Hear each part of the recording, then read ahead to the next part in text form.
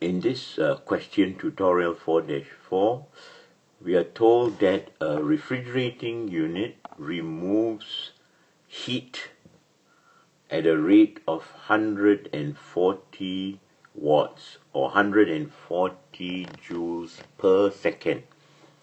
We are asked to find how long, seconds or minutes, to cool 2 kilograms of water from 30 degrees to a final temperature of 5 degrees.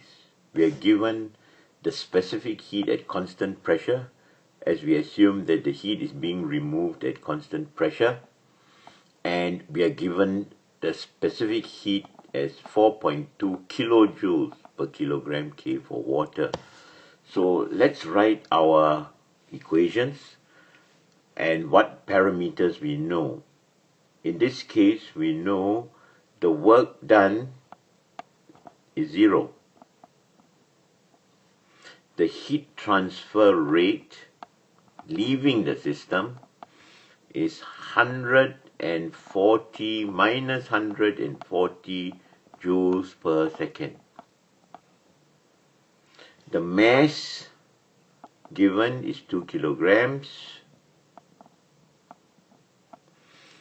and our change of internal energy U is equal to the time taken delta T. Don't confuse this with uh, temperature. Delta T is the time taken. Okay, so instead of writing delta T, so that we do not get confused, I'm going to write the whole word, the time taken, multiplied by the heat transfer rate. We now expand delta U to be mCp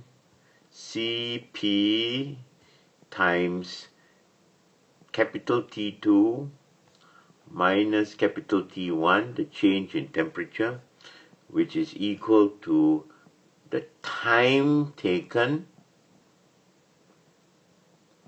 multiplied by the heat transfer rate. We have to be careful. We have to plug in 140. You will see why in a moment. Because when we do the next substitution,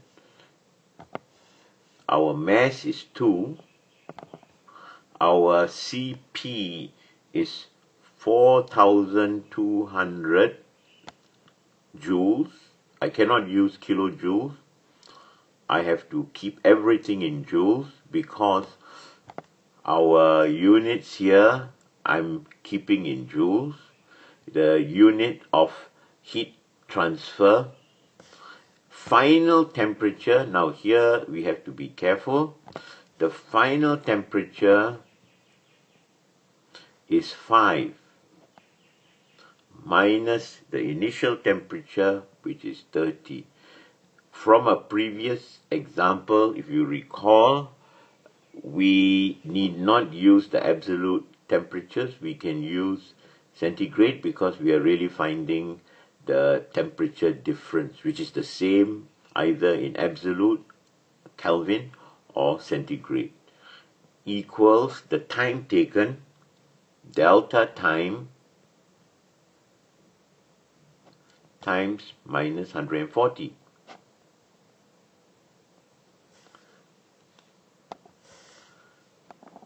If we now do the rest of our calculation, we find that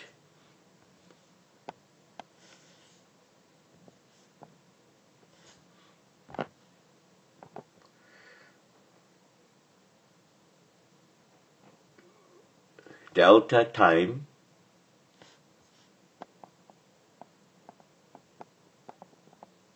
total time taken is simply equal to 1500 seconds.